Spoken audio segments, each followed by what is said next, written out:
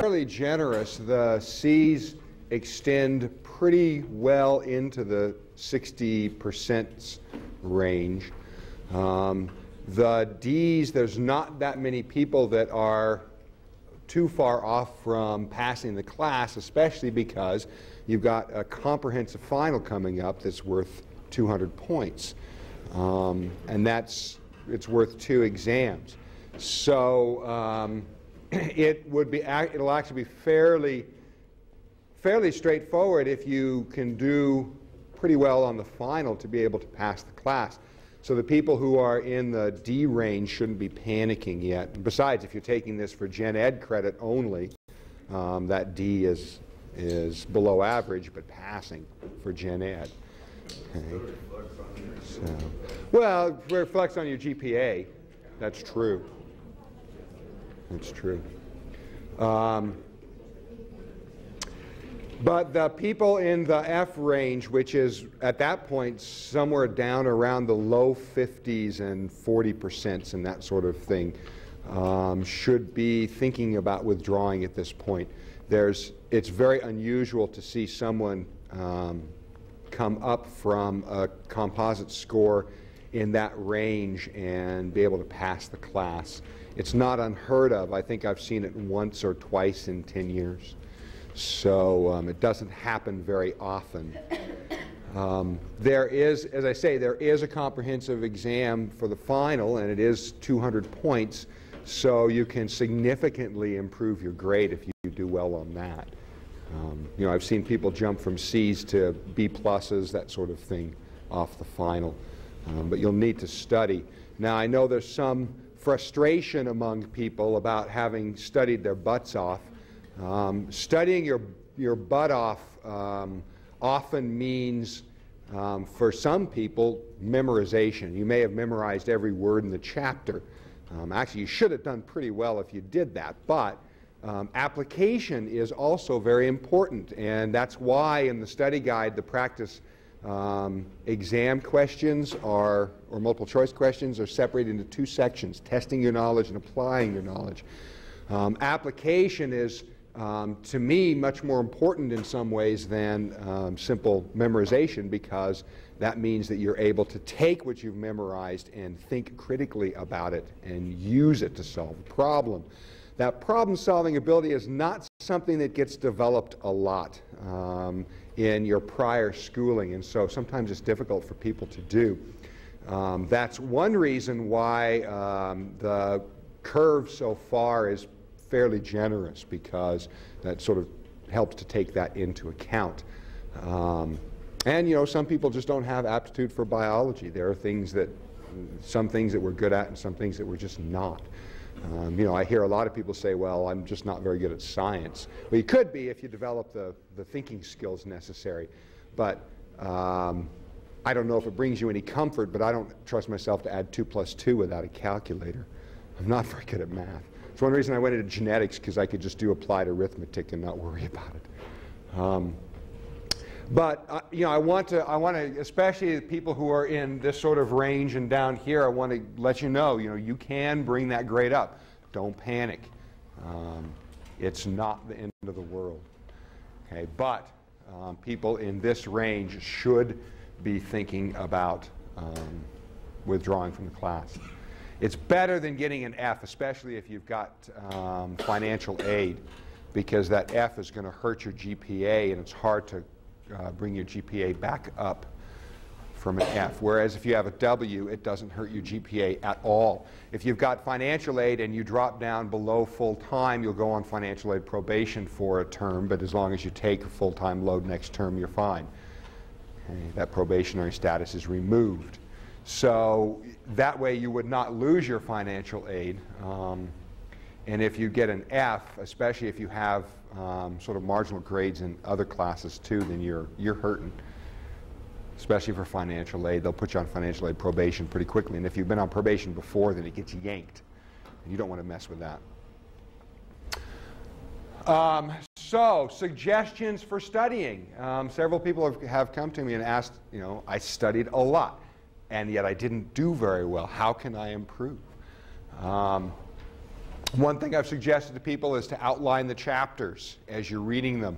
Many of the questions on the exams come from a test bank that's done straight from the information in the book. And while I cover a lot of the information uh, from the book in the lecture, there's still a significant amount that I don't cover. And so outlining the chapters is probably a real good way to go to help you focus on what the information is there. Um, thinking about the uh, questions at the end of the chapters, especially the essay questions, because a lot of those are application sorts of things. Um, doing the, the study guide, um, although some people have said that really isn't helping them much, it, it does. Um, especially if you approach it from the sense of you read that, that section in the chapter and then you set that aside and you try to do the study guide without referring back to the chapter. It helps you test yourself and it helps you think about what you still need to study um, using the CD-ROM in the book. I know last time I mentioned that a lot of people said, well, you can't sell the book back if, um, if you use the CD-ROM. Well, here's the question. Do you want to pass or do you want to sell your book back? Okay. Use that CD-ROM. There are, there are practice exams in that CD-ROM that have questions that have been taken from the same test bank that I'm using for my exams. Why do you think I've emphasized use that CD-ROM? So the question becomes, do you want to pass or do you want to get 10 bucks back for your book? Okay, that's the question. Um, so use those, but don't refer back to the book when you're doing them. Use them as practice exams. Right? Read the chapters, study the chapters, um, study every day so that it stays in your fresh in your memory. A lot of people will not study until say a week before the exam or a few days before the exam. It's too late. All right? You're screwed. You have got to study a little bit every day. That's why um, we figure that a full a load of 12 hours is a full-time occupation because it should take you 36 hours a week out of class. You should be spending at least an hour every day on this material in this class. Okay? If you do that, I think it'll help. Um, and beyond that, um, perhaps studying in a group of people where you can actually sit down and discuss what you've learned. Um, because discussing it helps you cement it uh, and understand it. It, you, just, you don't learn stuff thoroughly unless you have to present it to someone else. I mean, I didn't really learn genetics um, in a practical sense until I actually had to stand up in front of a class of 200 people and present the information. Um, so that often helps. Perhaps if there's some uh, few people in your group that have been doing really well in the class, perhaps their study habits or tricks or whatever may rub off on you as well. And you might pick up some things that you can try um, for the final exam. okay, so those are some, some suggestions that, that hopefully will help you study um, and do better on the final so that you can get through the class.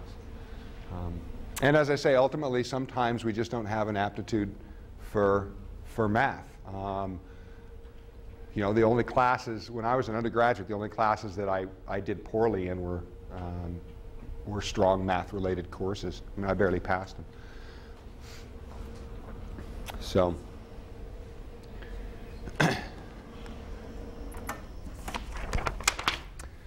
um, any other questions on that? Yes? Last time you gave us the answers for each form. Yeah, I'll do that as well. Um, I haven't, we haven't got the uh, exam forms ready to be returned yet, but yes, as soon as we get those, um, get those exams ready to return, then we'll go ahead and uh, we'll go ahead and, and hand that out, out, that key so that you have it.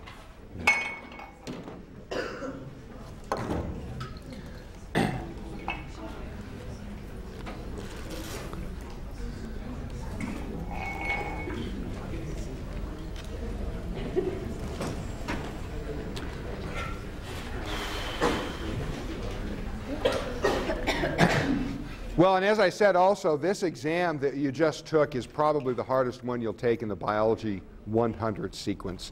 The rest of them get a lot easier. The next one, I think the final will be quite a bit easier for you because the majority of it, 60%, is going to be um, on genetics. And genetics seem to be something that people have sort of an intuitive sense about. It, it relates to you better. You're able to see how it works better. Molecular stuff, you know, it's, it's tricky um, to try and figure out how everything's working.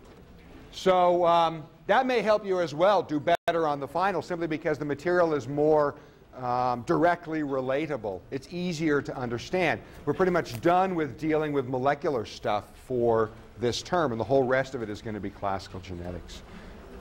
Okay? So um, that's, what that's the topic that we move into now. Um, chapters 8 and 9, classical genetics. Um, it's molecular and cellular basis, but we really won't be looking too much at molecular stuff um, in this, this course. Next term, the first thing we start up on is molecular genetics and looking at, you know, what is a gene? How does DNA work? Um, what are, what's the functional implications of that? And then uh, we'll look at a lot of the uh, genetic engineering and, and molecular cloning and that sort of things that people are really interested in right now. Um, one note on this material, though, uh, I use a historical approach, and I've, I've said that several times with genetics, um, and I sort of implied it when I uh, did that brief history of genetics last week. So I move pretty freely between chapters 8 and 9, but I'll do 9 first, then I'll move to 8, and then we'll go back to 9 and uh, finish it off. Okay, so I'll try to let you know where I'm moving back and forth so you can follow along reasonably well. All right, some major points about these two chapters. They really can be condensed into three major points. And that first point is there are some basic rules of inheritance that were discovered by mostly Gregor Mendel um, in the 1850s. And they were um, expanded on by other people once his work was rediscovered in the, at the turn of the century, the, uh, 1898 99. Uh, until about 1953. 1953 was a hallmark year because that's when the structure of DNA was determined. And at that point, we hit the molecular revolution. And so a lot of genetics goes to the molecular level at that point. All right, so there's some basic rules of inheritance that you'll want to learn. Applying those rules is going to get you through all of the genetics problems that you'll see. It's a basic matter of knowing the basic rules um, being able to apply those to solving problems. And so here's where application becomes very, very important. But what I plan on doing is going through an awful lot of problems so I can show you how you apply that, um, that basic knowledge to solving the problems. Right, um, the cell division chapter talks about two different types of cell division, mitosis and meiosis. Mitosis is the um, process of equally separating genetic information into daughter cells. You have uh, cells that divide, they've um, duplicated their genetic information, they divide that evenly between the daughter cells. Okay? And that's typical cell division. There is a special type of cell division, though, that is called meiosis, and that's used to produce sex cells, sperm and egg. Okay? That division halves the genetic material so that there's only half as much in each of the cells. Okay.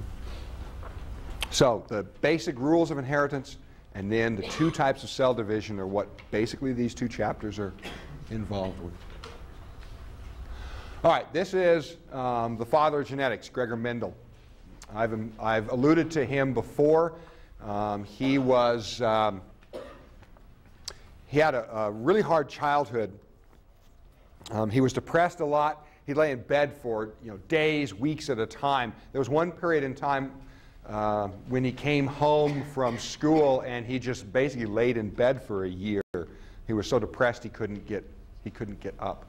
Um, his parents were not very tolerant of that. They uh, chastised him, and uh, especially his father.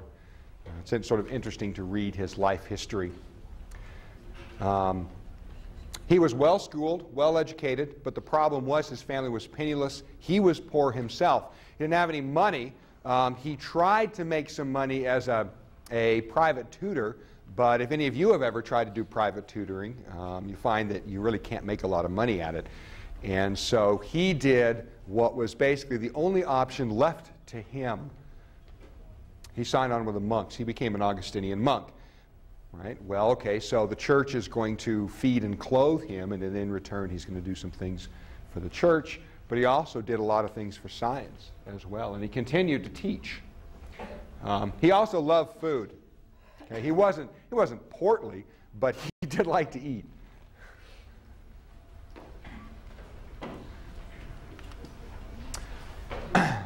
Um, okay, so Mendel worked with peas, and uh, one of the main reasons he worked with peas was just because they were available to him to work with.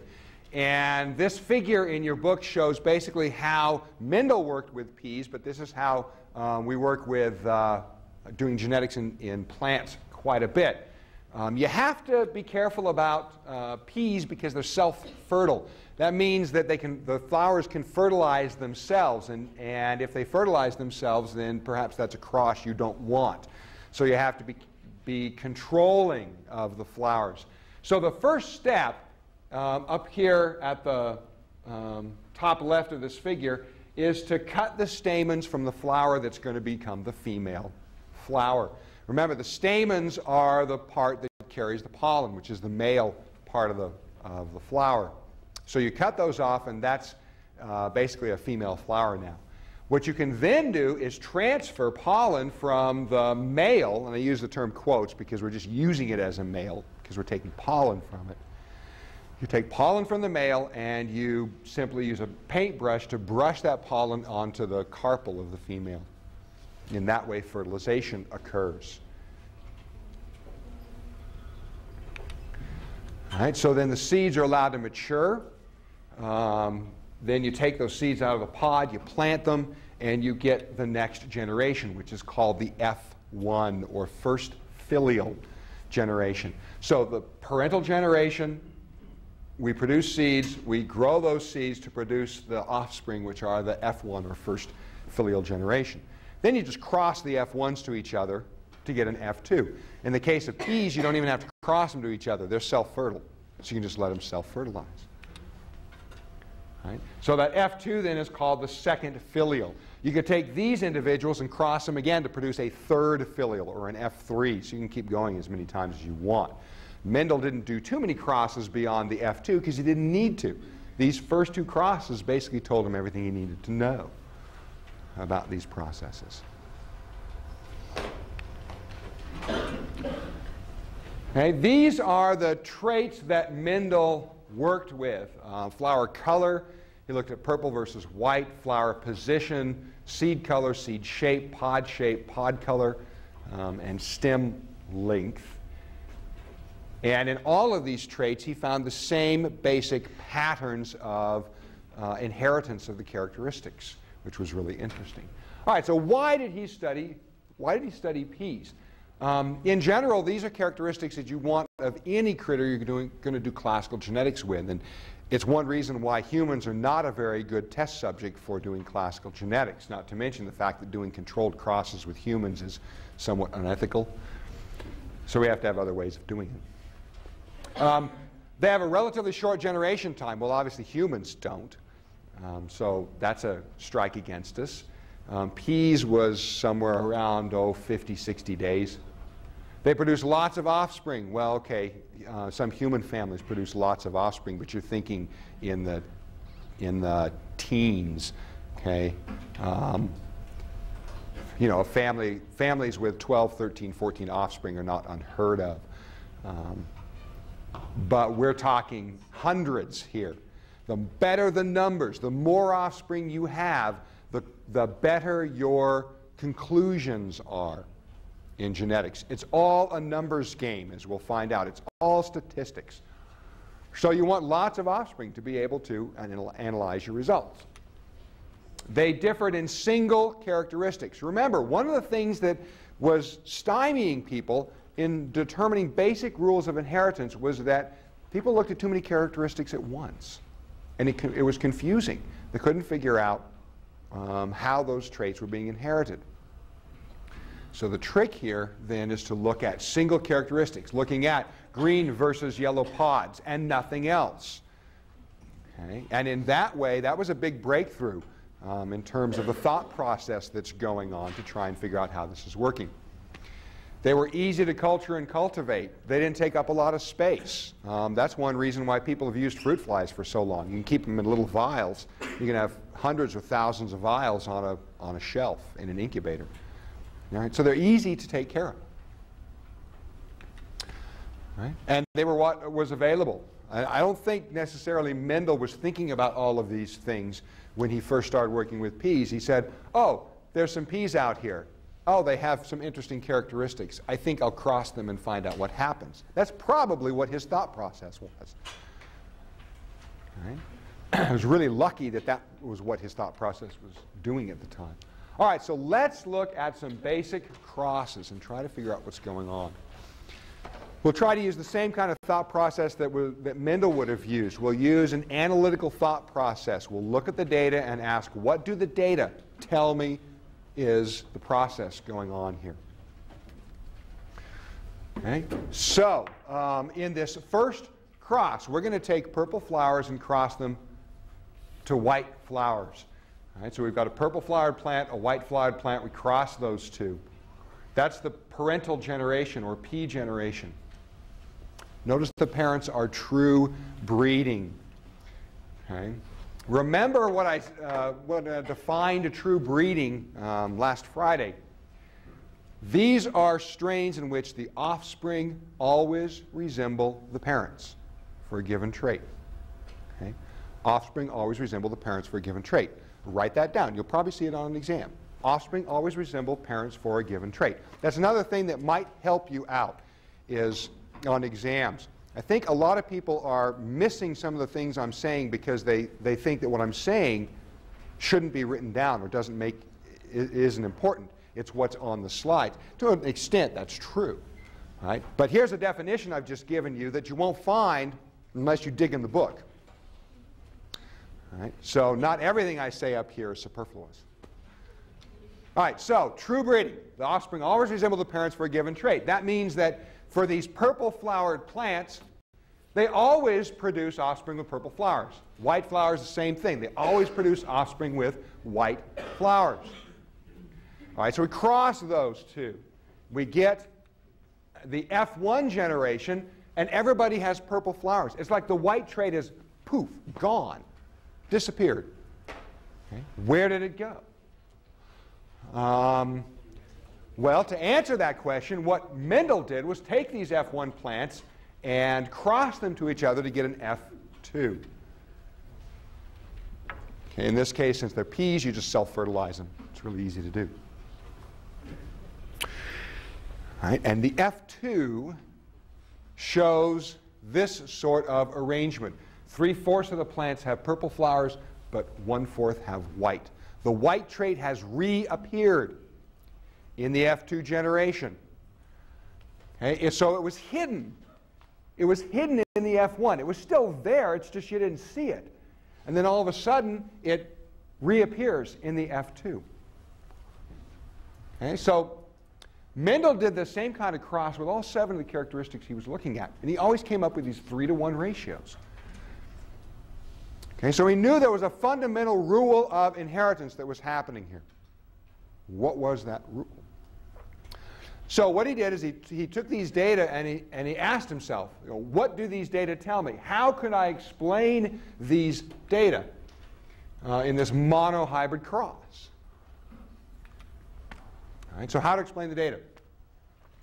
Mendel proposed the, the next three basic rules. Traits are controlled by unit factors. Okay? He didn't call them genes, although we call them genes now. Right? Unit factors. They're par little particles in a sense. Right? And those particles are separate from each other. They can have alternate forms. For example, you can have a particle that controls the height of a plant such that it's tall. You can have a unit factor that controls the height of the plant such that it's short. Right? So those are height unit factors, but they're separate forms of those unit factors. There's a tall one and a short one.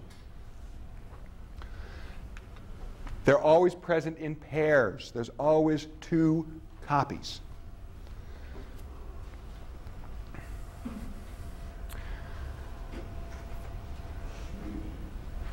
Okay, so what's going to happen then is if you have these two copies, they're going to be able to separate when you form gametes. Now, you can have dissimilar unit factors. I mean, imagine the situation where you have um, a unit factor that specifies tall and a unit factor that specifies dwarf plant. Or in our example, a unit factor that specifies purple flower versus one that specifies white. When those are both present in the, in the same individual, those dissimilar unit factors, then one of them masks the other.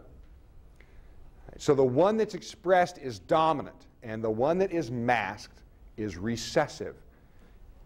That's his explanation for why the white flower trait disappears.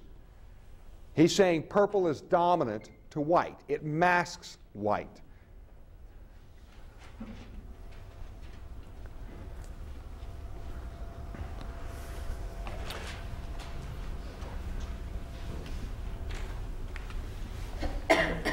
All right, so his last point then is if you have formation of egg and sperm, which you do in these flowers, then the unit factors separate. Okay, so you've got unit, two unit factors, they're separating out so that each gamete, each egg or sperm, gets one or the other, but not both. Right? And that makes perfect sense because then when you get egg and sperm uniting, they come back together again, and you again have them in pairs. Okay? So in the parents, they're together in pairs. They separate out to form gametes. So now we've got separate gametes, egg and sperm. They come together when you get fusion of egg and sperm, and they're paired again. Right?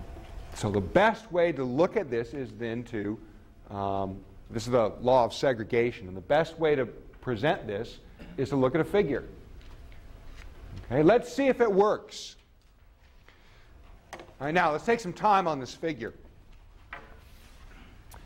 Up at the top, we have the parental generation of plants. And we're diagramming the genetic makeup of those plants by using symbols that represent the unit factors. Okay? So one of the plants has a big P, big P. Okay? Those are its unit factors. The big P is the purple factor. And the little p is the white factor.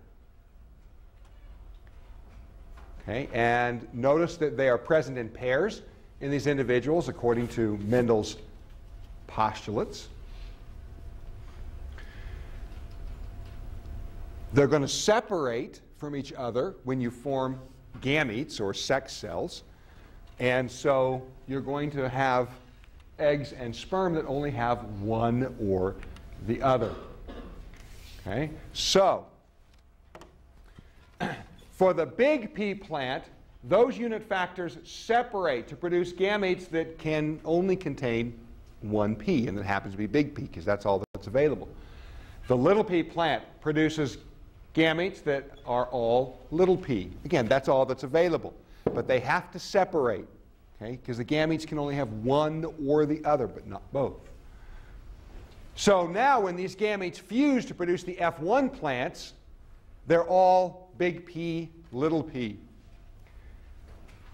Okay? Remember, Mendel said that when dissimilar factors are present, one is expressed and the other is masked. The one that's expressed is dominant. The one that's masked is recessive. That's what we're seeing right there in the F1 plants. They're big P, little p. They're all purple flowered. That's where he gets his dominant and recessive concept. Okay?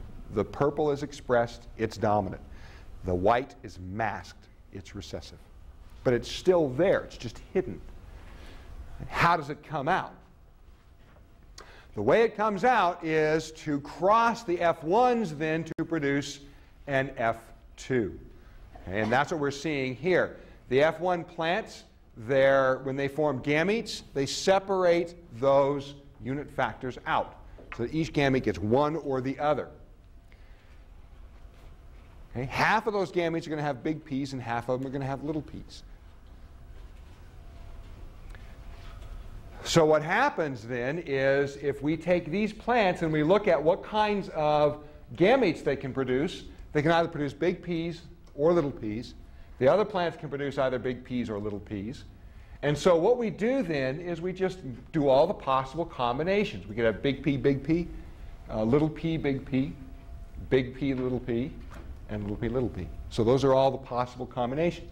Well, these two are the same. I mean, a big P and a little p, then they're a little p, big P, and a big P, little p aren't different from each other.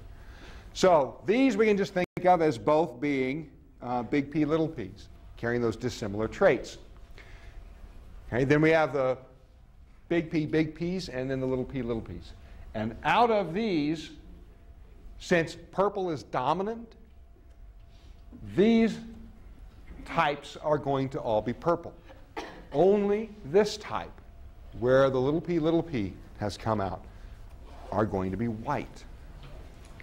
There's the 3 to 1 ratio right there. That explains Mendel's 3 to 1 ratio. Okay? So we apply his rule of segregation, the separation of those um, unit factors into gametes. And that's how we produce our F2. And we get a 3 to 1 ratio.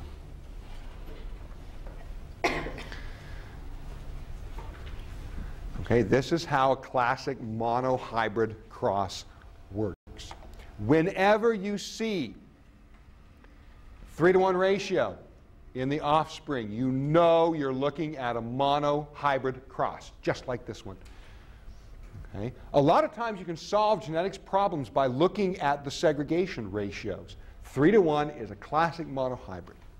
So if you look at a problem and you see a 3 to 1 ratio, you know what's going on. Okay? You're having big, say, big P's and little p's cross to each other to produce the next generation.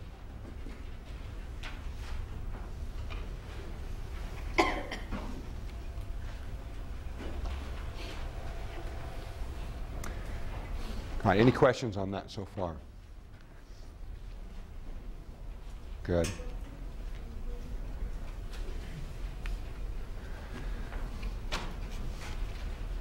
Okay, at this point I want to replace Mendel's terms with some modern terminology because it's much easier to talk about these things using the modern terminology.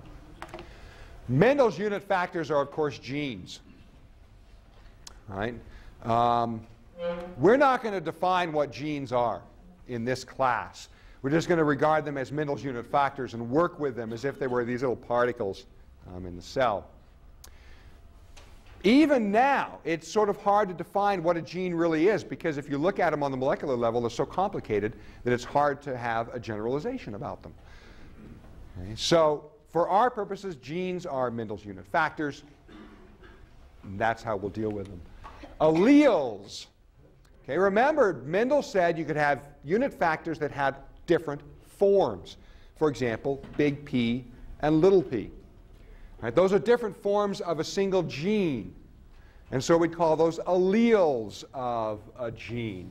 A big P allele and a little p allele. Right, different forms of the same gene.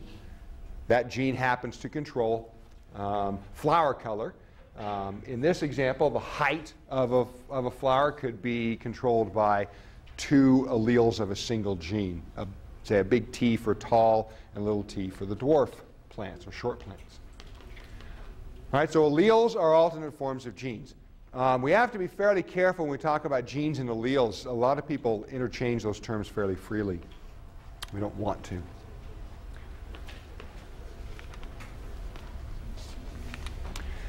Right. Um, homozygous and heterozygous.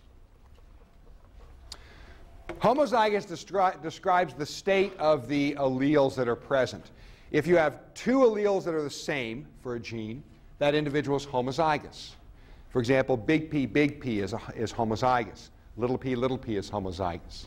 If you have, however, dissimilar alleles, say big P and little p in the same individual, that's heterozygous okay, because of the fact that it has those dissimilar alleles. And so homozygous and heterozygous. Homozygous has the similar alleles. heterozygous has dissimilar alleles of a gene. Uh, okay, there's true breeding, strain in which offspring always resemble the parents. And due to homozygosity, that's why you get true breeding, because they're homozygous for a particular trait.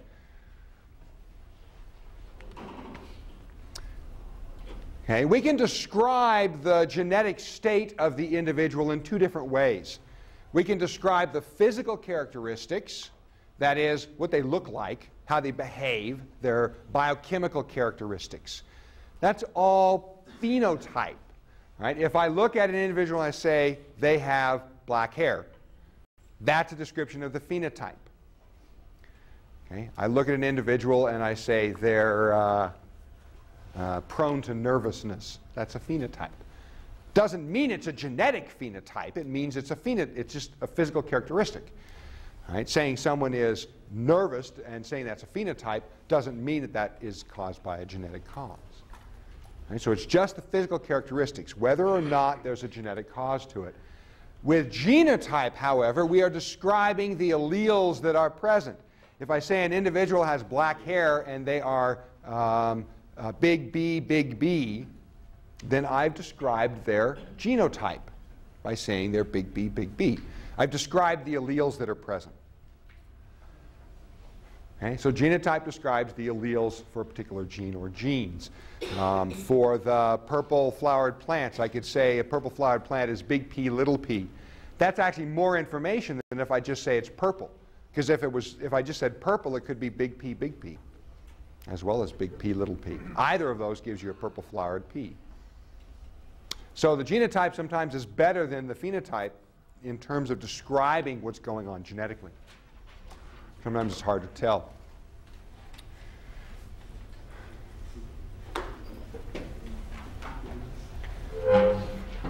Okay, so those are most of the major terms that, that we can apply to Mendel's work, and I'll use these terms pretty regularly from now on.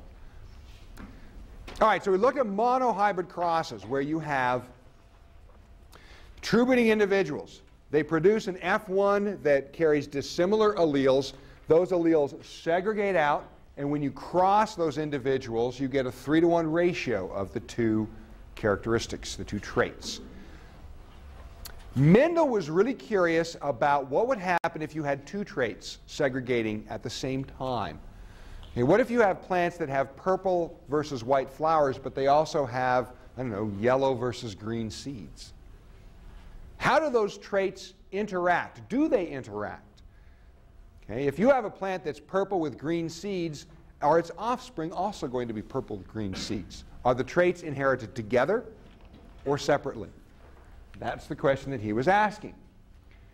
Okay. Um, what he did then is he looked at crosses where he had two traits that were separating or segregating. These are called dihybrid crosses, and they're a little bit more complicated than a monohybrid cross, but not terribly so. So we have to keep track of um, a few more alleles. All right, there's two possible outcomes. Um, what we want to do with this is apply sort of a uh, hypothetical approach and, and ask what are the possible outcomes of such a cross that we can think of. Right? The traits could segregate together, or they could, they could not have any influence on each other at all. They could segregate completely separately. They could separate out without um, affecting each other at all. Right? So those are the two possible outcomes. What would we observe under these two hypotheses? That's the next question. All right, so here is the hypothesis of dependent assortment.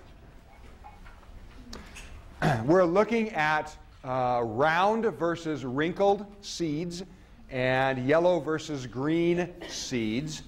All right, so we have an individual that produces seeds that are round and yellow. We're showing that that is a dominant trait, but you could know that by looking at the F1. Um, here's an individual that produces seeds that are wrinkled and green. Right, now, you apply Mendel's rules of um, segregation to this cross, just like we did for the monohybrid. Unit factors separate, segregate from each other when you form gametes. But you have to have at least one R and one Y. Okay? So you have one R, one Y in those gametes because these are different genes. So we have a big R, big Y. Those are the gametes that are produced by this individual. Little r, little y is produced by this individual. And that's all you've got. So you cross those two, and you end up getting a heterozygote. Okay? It's big R, little r, big Y, little y.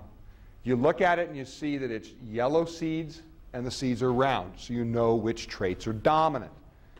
Those are the ones that are expressed in the F1. All right, so we look at this individual and we say, okay, the yellow is dominant, the uh, round seed is dominant. But what's going to happen if we cross these to each other? Under the dependent assortment hypothesis, there's only two possible types of gametes we could get. Okay, you can get big R, big Y, or little r, little y. What we're saying here is that the parental states the big R, big Y, and the little r, little y have to be maintained under dependent assortment. So we get big R, big Y gametes and little r, little y gametes, and that's all you can get under this hypothesis. The result is that you would expect a 3 to 1 ratio of round yellow to wrinkled green under this hypothesis. Right? So only two possible types of gametes produced. The R's and the Y's have to stay together. That's not what Mendel observed. Right, so that hypothesis is false. You have to throw that hypothesis out because the experimental data contradicts it. Instead, this is what Mendel observed. And I know many students wish that he had observed the first one because it's a lot easier to understand. This is not difficult, okay? Don't worry, don't worry. It looks a lot more complicated than it is. Now, here's the, here's the key. Once again, we have um, true breeding strains. They produce only one type of gamete, either big R, big Y, or little r, little y.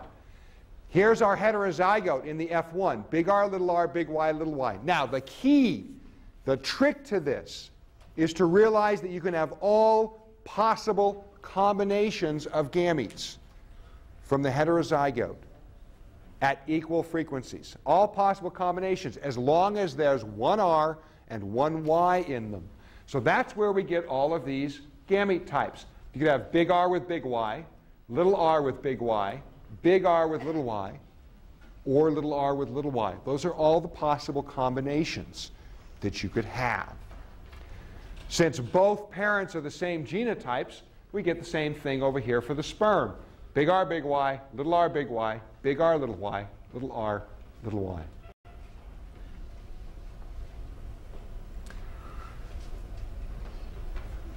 Okay, and then we simply do all the possible combinations of these eggs and sperm. So we have big R, big Y with big R, big Y. So there's the genotype of the offspring that results. Big R, big R, big Y, big Y. Right, so that's all that we're doing in each of these squares is combining the appropriate gamete. We've got a big R, big Y combined with a little, little r, big Y. That produces this thing. So you just fill in this table with all of those combinations and ask, what are the frequencies of the different types? Right, well, anybody that has a big R and a big Y, irrespective of what other alleles they carry is going to be yellow round. So we've got, what, 1, 2, 3, 4, 5, 6, 7, 8, 9 of those. Okay, so 9, 9 out of 16 yellow round. Um, if they have a little y, little y, they're going to be green. Right? And if they have a big R, they're going to be round. So we've got three individuals here that are round, but they're little y, little y, so they're green seeds. So there's 3 16ths there. We've got um, individuals that are little r, little r, and as a result they're wrinkled. And if they're big Y, they're going to carry, or they're going to be yellow. Okay? So we've got three individuals there that are like that. So there's our three yellow wrinkled. And we've got only one lone individual out of here that is little r, little r, little y, little y, and so it's green and wrinkled. So the result is we've got 16 possible combinations out of those, nine are yellow round, three are green round, three are yellow wrinkled, and three are green wrinkled. So we see a 9 16ths to 3 16ths to 3 16ths to 1 16th, or a 9 to 3 to 3 to 1 ratio.